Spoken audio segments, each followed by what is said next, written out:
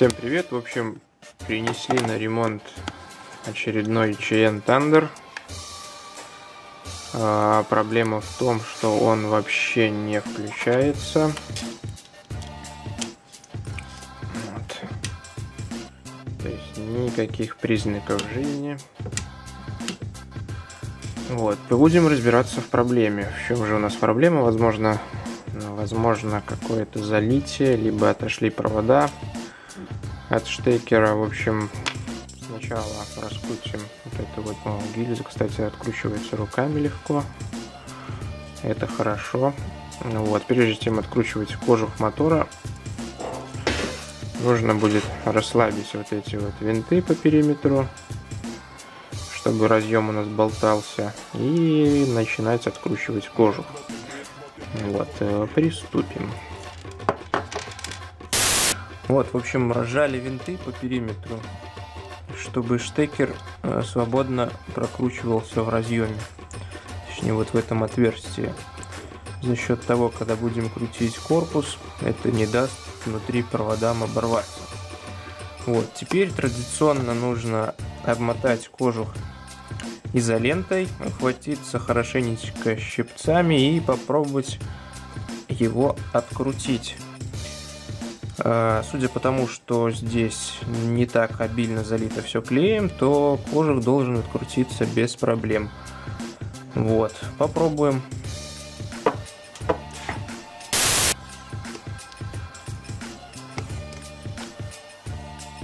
Вот. Ну, я думаю, столько достаточно, можно обрезать.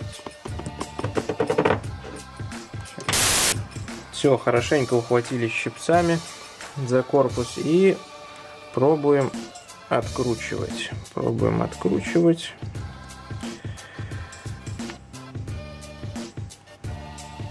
О, пошла. Пошла, родимая.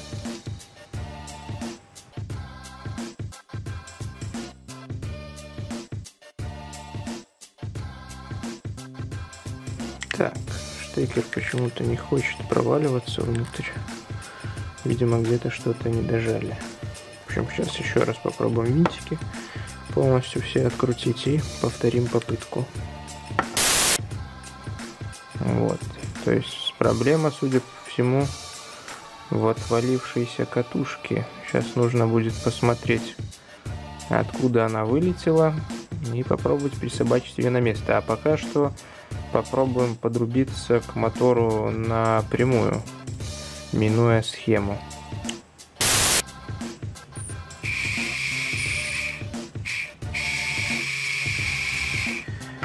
Как вы слышите, мотор у нас живой, поэтому причина вот в этой катушке.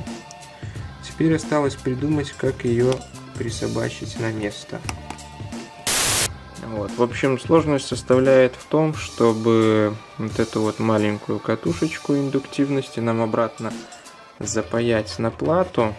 Вот. На плате было как бы 4 контактные площадки. Вот. Я думал, что катушка была припаяна, но поскольку феррит не паяется, то, судя по всему, она то ли была приклеена, то ли слегка прихвачена припоем.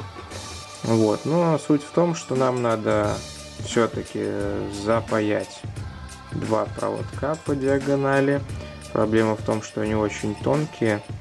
Вот. Ну и расположить катушку на четырех контактах этих вот. Ну, будем пробовать, в общем.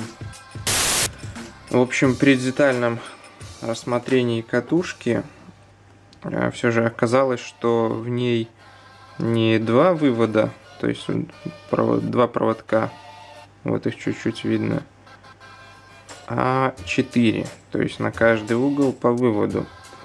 Но прикол в том, что все они э, звонятся. Вот, то есть знаю, будет ли сейчас, попаду ли я в эти проводки.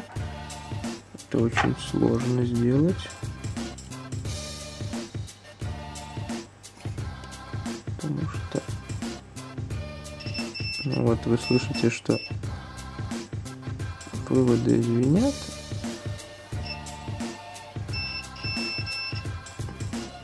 И это похоже на то, что коротнула катушка и об, ну, обгорела изоляция на медном проводе и, соответственно, все это замкнуло. Замкнуло 4 конца, то есть все 4 конца звенят. Вот, суть в чем? Сейчас я покажу на шаеновской плате. Так, есть у нас 4 контактные площадки, на которых якобы стояла катушка. Вот. Первые два, они идут вот с плюса, ну, плюс, плюс, минус, минус. То есть вы можете в этом сейчас убедиться. Вот, плюс звенит, минус не звенит. Ставим на минус, минус звенит. Соответственно, по логике вещей, вот эти два контакта не должны замыкаться, иначе мы получим короткое замыкание. Вот, я пробовал ставить катуху, и, соответственно, пошел дымок, что означает, что катушка закорочена, и для дальнейшей работы она, в принципе, уже не пригодна. Вот, э, то есть нам нужна либо новая катушка, либо э, как такой временный вариант я просто замкну вот эти вот этот с этим выводом, этот с этим выводом, поставлю сюда нулевые резаки, вот, и по логике вещей ротор должен работать. Вот, э, в, не совсем, кстати, понятно по плате, потому что на старых, либо, я не знаю, просто это старая, либо новая версия, но э, катушки были другие, были двухвыводные катушки, вот, зачем здесь 4 вывода на одном феррите, э, не совсем мне понятно. Вот, но как бы катушечку закажем новую, а пока вот время, на время поставим нулевые резаки. В принципе, э, большой разницы, я даже сказал, разницы в работе не будет, наверное, вообще, потому что э, емкость индуктивность, точнее, катушек была 0,47 микрогенри. Вот, достаточно маленькая. Вот. Ну, сейчас попробуем, короче, всунуть перемычки и проверить работу. Вот, припаяли мы нулевые резаки, типа размер 12.06, они идеально сюда стали. Вот сейчас глянем на это дело поближе.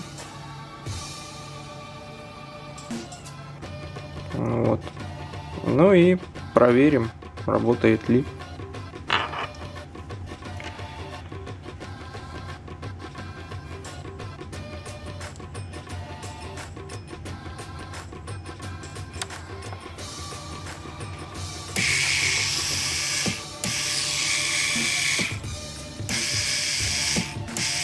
Как видим, все работает. При этом э, мы подключились не напрямую, к мотору, а все как положено через схему. То есть вся защита у нас остается э, работоспособной. Вот, ну теперь осталось нам припаять. Припаяли наш мини-джек, берем корпус, продеваем, закручиваем.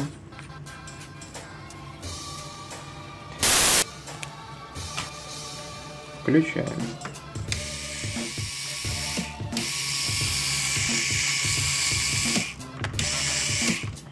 Все работает, все функционирует. И это очень хорошо. На этом все. Подписывайтесь на канал и ждите новых видосов. Пока.